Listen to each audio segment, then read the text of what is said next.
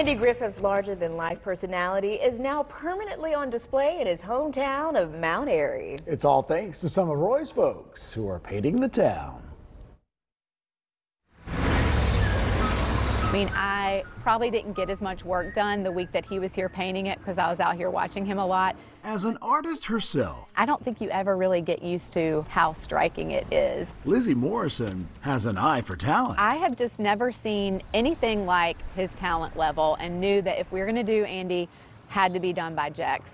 Greensboro artist Jax, known nationally for his work, taking a wall, a blank canvas like this, and evolving it into this. It's breathtaking. But to see someone able to achieve that level of hyper realism with a spray paint can, it just really blows your mind. The many faces of Andy Griffith in his hometown of Mount Airy. Fans of Andy, whether they're fans of the Andy Griffith Show or of Matlock or of any of the things that he did, can find um, the face that they most closely relate to.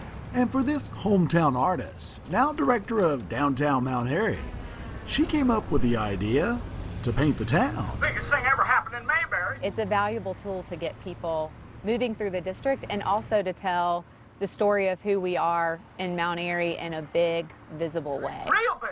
Big, big, big. Barney's right. These big, real big canvases, highlighting everything from the town's natural beauty to blues legend Melva Houston, and now Andy. So I think it really does a great job telling the story of Andy Griffith and really relating it back to home.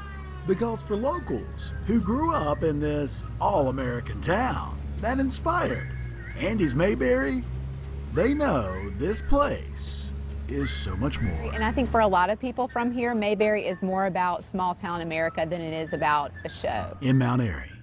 Looking for Roy's folks. You can't help but look at it. It's just so amazing. Chad Tucker, Fox 8 News.